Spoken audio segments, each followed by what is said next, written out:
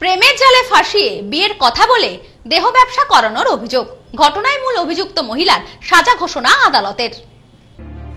প্রেমের জালে ফাঁসিয়ে বিয়ের প্রলোভন দেখিয়ে নাবালিকাদের নামানো হতো দেহ ব্যবসায়। পুলিশ প্রশাসনের চোখে ধুলো দিয়ে অচিরেই ঝাড়গ্রামের বুকে তৈরি হচ্ছিল এমনই একটি নারী পাচার চক্র ও দেহ ব্যবসার চক্র। গোপন সূত্রে খবরের ভিত্তিতে তদন্তে নেমে এই চক্রের মূল পাণ্ডাকে গ্রেফতার করে ঝাড়গ্রাম জেলা পুলিশ। এক মহিলা সহ চারজনকে গ্রেফতার করেছে পুলিশ। অভিযুক্তদের কুড়ি বছরের কারাদণ্ডের নির্দেশ দিয়েছে ঝাড়গ্রামের দ্বিতীয় অতিরিক্ত ও জেলা দায়রা আদালত। এই ঘটনা প্রকাশ্যে আসতে উত্তপ্ত গোটা এলাকা। বেশ কিছুদিন ধরেই ঝাড়গ্রাম সহ বিভিন্ন জায়গায় নিরুদ্দেশ হয়ে যাচ্ছিল নাবালিকারা। তাদের পরিবারের পক্ষ থেকে অভিযোগ দায়ের করা হয়েছিল থানায়। সেই অভিযোগের ভিত্তিতে ঘটনার তদন্ত শুরু করেছিল ঝাড়গ্রাম থানার পুলিশ। পুলিশ সূত্রে জানা যায়, এই চক্রের মূল পাণ্ডা একজন মহিলা। যে কিনা কৌশিক অজয়দের মতন ছেলেদেরকে কাজে লাগিয়ে নাবালিকা মেয়েদেরকে প্রেমের জালে ফাঁসাতো। তারপর সেই সব নাবালিকাদের বিয়ের প্রলোভন দেখিয়ে বাড়ি থেকে বের করে আনতো। তারপরে তাদেরকে ঝাড়গ্রামে নিয়ে এসে জোরপূর্বক তাদেরকে দিয়ে দেহ ব্যবসা করানো হতো বলে অভিযোগ। কোনো কোনো নাবালিকা এই কাজ করতে রাজি না হলে তাদের ওপর চলত শারীরিক এবং মানসিক অত্যাচার। মাদক জাতীয় ওষুধ মিশিয়ে খাওয়ানো হতো নাবালিকাদের। ঘটনার তদন্তে নেমে এমনই তথ্য উঠে আসে পুলিশের হাতে। পুলিশ সূত্রে আরও জানা যায়, প্রথমেই ঘটনা সামনে আসে এক নাবালিকা অপহরণের ঘটনার পর।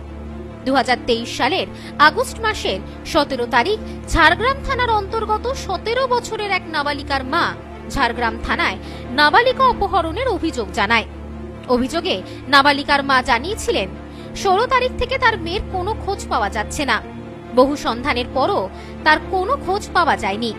এরপরই ঘটনার তদন্তে নামে পুলিশ। এই ঘটনার তদন্তে নেমে ঝাড়গ্রাম থানার পুলিশ, ঝাড়গ্রাম থানা এলাকার বাসিন্দা কৌশিক সিংহ, ওরপে লাদেন এবং ঝাড়খণ্ড রাজ্যের পূর্ব সিংভূম জেলার চাকুলিয়া থানার অন্তর্গত বাসিন্দা অজয় দাসকে গ্রেফতার করে। তাদেরকে জিজ্ঞাসাবাদের পর কোথায় অসঙ্গতি মেলায় শুরু হয় লাগাতার জেরা। পুলিশি জেরায় অভিযোগের দশ দিনের মাথায় আগস্ট মাসের ২৬ তারিখ ঝাড়গ্রাম রেল স্টেশন সংলগ্ন এলাকা থেকে নাবালিকাকে উদ্ধার করে পুলিশ। সেই নাবালিকাকে উদ্ধার করে তাকে জিজ্ঞাসাবাদের পর সামনে আসে নারী পাচার চক্রের কথা। এরপরই নড়ে চড়ে বসে পুলিশ প্রশাসন। ঝাড়গ্রাম জেলা পুলিশের পুলিশ সুপার অরিজিৎ সিনহার নেতৃত্বে গঠিত হয় একটি বিশেষ টিম। নারী পাচার চক্রের মূল পাণ্ডাকে ধরবার জন্য জোর কদমে শুরু হয় পুলিশি অভিযান। গোপন সূত্রে খবরের ভিত্তিতে লালগড় থানা এলাকার বাসিন্দা বাবুর বেগ নামে এক ব্যক্তিকে গ্রেফতার করে ঝাড়গ্রাম থানার পুলিশ। তাকে গ্রেফতার করে জিজ্ঞাসাবাদ করতেই সামনে আসে পিঙ্কি বিশাল ওরফে সোনালী বিশাল নামে এক মহিলার নাম। শুধু তাই নয়, ওই অভিযুক্তকে জিজ্ঞাসাবাদের মাধ্যমে পুলিশ জানতে পারে নারী পাচার চক্রের পেছনে মূল পাণ্ডা এই পিঙ্কি বিশাল। এরপরই পুরুলিয়া জেলার বলরামপুর থানা এলাকা থেকে পিঙ্কি বিশালকে গ্রেফতার করে পুলিশ। অর্থাৎ এই চক্রের মূল পাণ্ডা ছিলেন এই পিঙ্কি বিশাল। তাকে গ্রেফতারের পর লাগাতার জিজ্ঞাসাবাদের মাধ্যমে পুলিশ জানতে পারে তিনি কৌশিক, অজয় এরকম বিভিন্ন নামের ছেলেদেরকে দিয়ে নাবালিকা মেয়েদেরকে ট্র্যাপে ফেলতো। জানা যায়, এই পিঙ্কি বিশালকে গ্রেফতারের পর গত বছর অক্টোবর মাসের সতেরো তারিখ আদালতে চার্জশিট পেশ করে পুলিশ। চার্জশিট পেশের তিন মাসের মাথায় পুনরায় সাপ্লিমেন্টারি চার্জশিট পেশ করে পুলিশ। চার্জশিটে যুক্ত করা হয় নারী পাচার, ধর্ষণ এবং চার ও ছয় নম্বর পোক্সো ধারা সহ একাধিক ধারা। জানা যায় এরপর চলতি বছরে জানুয়ারি মাসের উনতিরিশ তারিখ থেকে শুরু হয় সাক্ষ্য গ্রহণ।